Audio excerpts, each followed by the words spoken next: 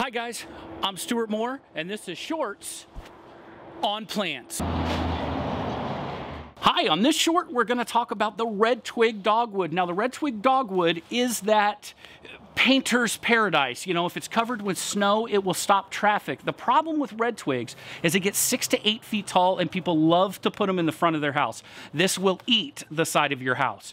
What I like to do with red twigs is I like to trim a third of them out every year. So a third of the twigs every year I like to trim out. So at the end of the three years, uh, I've basically trimmed the entire plant, but I only do it in segments. And that keeps this rich red color because after about three years, this color, it, it, ends up getting really twiggy and kind of turns into a brownish gray color. So red twig dogwood.